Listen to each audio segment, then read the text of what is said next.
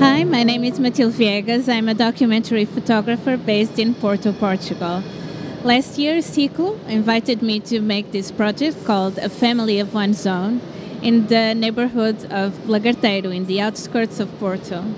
This is a collaborative project between me and the kids from this neighborhood and was carried out in this type of association that hosts the kids after school over time after doing their homework as well and playing uh, in recess.